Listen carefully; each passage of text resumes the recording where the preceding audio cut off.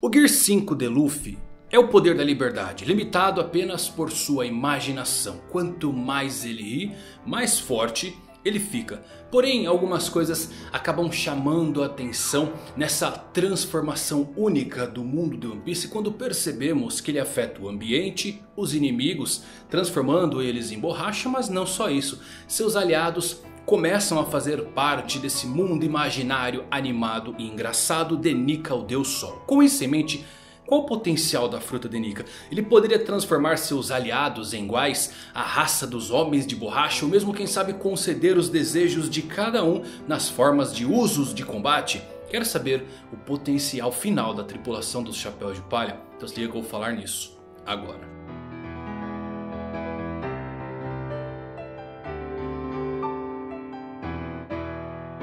Fala galera, Evandro Fusari aqui mais um vídeo pra vocês, como é que vocês estão? Espero que todos vocês estejam maravilhosamente bem. Eu estou trazendo um vídeo muito legal sobre o potencial dos poderes de Luffy. A fruta de Nika, o seu Haki do Rei. Será que isso pode influenciar as pessoas de uma outra forma? Tem umas coisas muito interessantes nesse vídeo que eu gostaria que você assistisse para abrir a mente para novas teorias. Só que antes de eu falar, dá um confere aí no nosso patrocinador. Fala galera, agora eu vou falar uma coisa séria para vocês que quer dar um up na sua autoestima e sabemos que cabelo é um dos quesitos mais importantes para mantê-la sempre lá em cima. Por isso, para você que está começando a reparar que tem entradas crescendo, que já vê a calvície um pouquinho mais avançada, eu quero apresentar para vocês os produtos da Manual, que são produtos que eu utilizo, tá galera? Com a Manual você não precisa sair de casa nem esperar em salas de consultórios, é tudo feito online, basta acessar o site responder ao questionário sobre a sua queda de cabelo e um médico especialista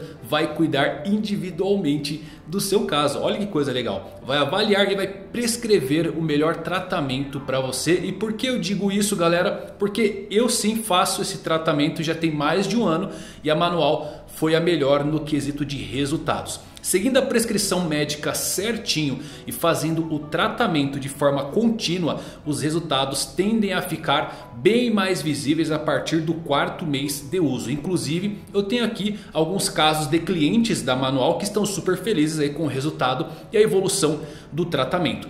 E é claro que para você inscrito aqui no canal, vai ter um super desconto daqueles 40%, sério. Sem contar que tem frete grátis e uma entrega super discreta. Dá uma olhada na caixinha para manter a sua privacidade. É só utilizar o cupom MANGA40. Clica aqui no link da descrição e aproveite. Vai lá, corre porque o tempo é limitado. Agora sim, preparados? Então vamos descobrir o real potencial de Nika, o Deus Sol.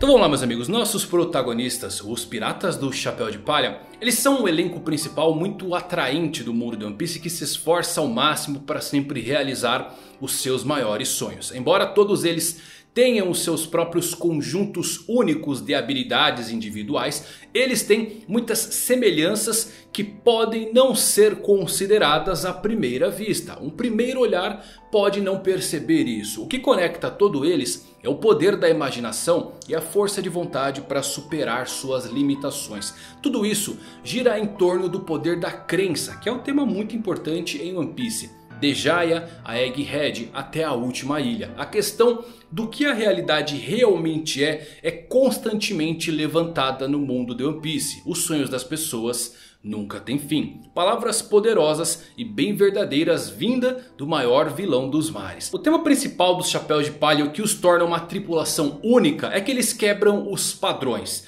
Veja Zoro a exemplo, ele é tão dedicado ao seu sonho de se tornar o maior espadachim do mundo ao ponto de decidir treinar sua mandíbula para ser forte o suficiente para conseguir segurar uma terceira lâmina na sua boca. Ou então Chopper, uma rena comum que consumiu a fruta de um humano e hoje estuda medicina. Frank, um ciborgue movido a cola. Brook, um esqueleto vivo que até consegue cagar. Falando em liberdade, Luffy é um personagem que realmente cria formas de Zoans do nada, além do seu corpo único de borracha e sua própria engenhosidade. A razão pela qual os nossos protagonistas são capazes de fazer tais coisas é por conta dos seus sonhos. E esses personagens anseiam pelo que os outros consideram impossível e portanto não é surpresa que isto seja realizado dentro das suas habilidades. Não há como negar que a vontade herdada é um tema muito importante nesta história.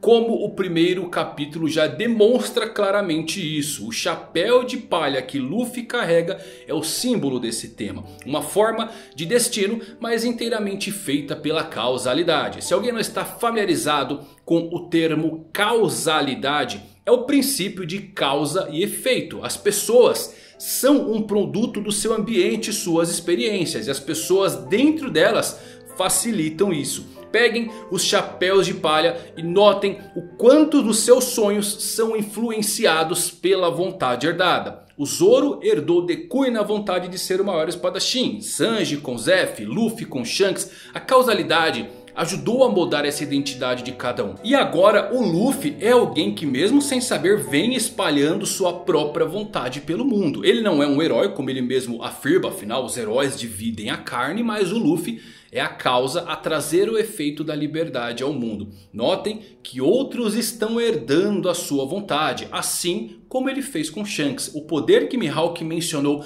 lá em Marineford, o poder de atrair as pessoas para sua causa está demonstrando esse tema em uma escala muito grande. É como se todo mundo que acredita em Luffy e luta por ele tivesse herdado um pedacinho dele. Curiosamente nós também somos todos feitos desses pedaços únicos chamados vontade herdada. Agora o que é interessante para mim é como Ichiro Oda também criou habilidades que colocam esse tema em forma física, nomeando a exemplo Red Hawk de Luffy e o R-Room Silence de Lau. O Red Hawk simboliza um pedaço da vontade de Portigas de Ace que Luffy agora carrega enquanto ele avança em sua própria jornada. O velho charlatão disse para nós uma vez, as pessoas só morrem quando são esquecidas. Da mesma forma com Lau, a habilidade Silence é um aceno para um pedaço de coração que ele herdou. E é muito bonito na minha opinião, especialmente como demonstra o impacto que nós humanos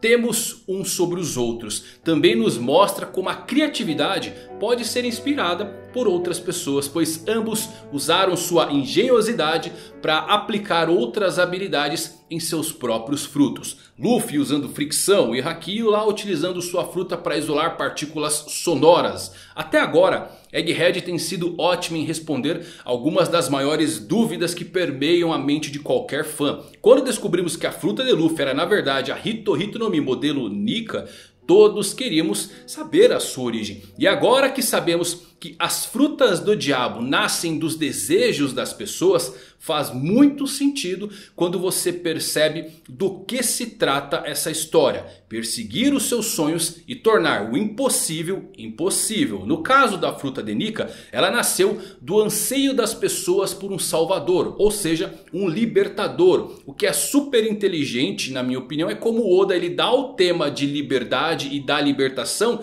em uma forma completamente física. Luffy pode se esticar como se seu corpo fosse de borracha, tendo a liberdade de lutar como quiser. Seu poder é limitado apenas por sua imaginação. Quanto mais ele ri, mais forte ele fica. Perceberam a beleza disso? Quantos protagonistas você conhece que ficam mais fortes quando estão bravos, irados? Luffy é diferente, ele é o único que te ensina a sorrir nas adversidades. No mundo de One Piece, as pessoas ansiavam por alguém que as libertasse de um mundo tão restritivo. E sua solução foi o poder que Luffy agora acabou herdando. Ao contrário de outras frutas Zoan, a fruta de Nika é aquela que depende inteiramente do usuário para criar as suas próprias formas de transformações com o objetivo final de alcançar o despertar. O que eu acho super interessante são as desvantagens que vemos nas diferentes engrenagens. Do Gear 2 ao Gear 4, eles só se tornam cada vez mais inibitórios em relação a Luffy. E essencialmente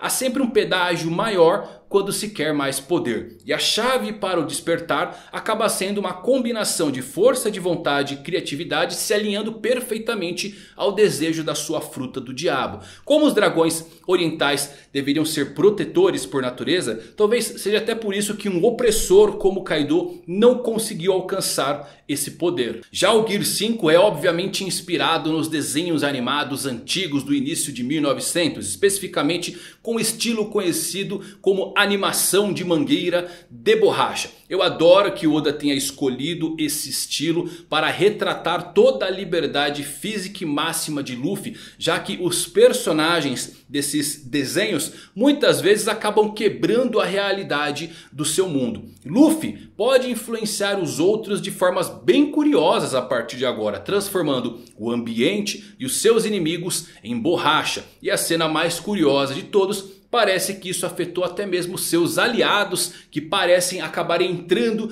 nesse mundo dos desenhos animados simplesmente por estarem na arena de efeito do fruto de Nika. Com isso nasce a ideia de que talvez Luffy consiga passar o poder da imaginação de alguma forma externa, quem sabe influenciando os seus próprios aliados, porque a sua fruta permite esses tipos de coisas malucas, mas existe também um outro aspecto bem presente em Luffy que pode ser somado ao ponto de fazer aflorar o sonho das pessoas nas formas mais intensas, o Haki do Rei. Eu sempre tenho pensado sobre o real papel do Haki do Conquistador por um tempo e sua utilidade para o futuro da trama. Como todos sabem, sabemos, o Haki do Rei é utilizado para dominar e intimidar a força de vontade dos seus oponentes ao redor do usuário. Normalmente isto não afeta oponentes obstinados, então seus usos no novo mundo acabaram sendo bem limitados a não ser que você consiga revestir os seus golpes com seu Haki do Rei. Como sabemos,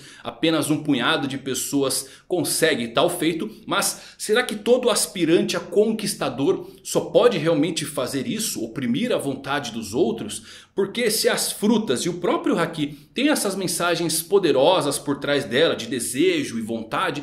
Seria bastante lógico termos o lado oposto do Haki do Rei aparecendo. Um poder com propriedades ocultas que inclusive poderia até explicar a habilidade não natural de criar aliados daqueles ao seu redor. O maior poder do mundo. Já faz algum tempo que sabemos sobre a capacidade de Luffy de transformar aqueles ao seu redor em aliados. Mas todos nós sempre assumimos que isso era apenas parte da natureza de Luffy. Mas e se não for só isso? E se houver algo a mais nesse poder e está relacionado ao Haki do Rei? Mais ainda, não poderia o Haki do Rei quem sabe ser utilizado em seus aliados para aumentar a sua própria força de vontade ou até mesmo o seu Haki? O que pode ser maior para um rei do que inspirar os seus aliados e seguidores? As frutas sabemos que nascem dos desejos humanos. Quem garante que Nika, Deus Sol, com seu poder da imaginação não tornou isso real. Que Nika teria esse poder de conceder os desejos das pessoas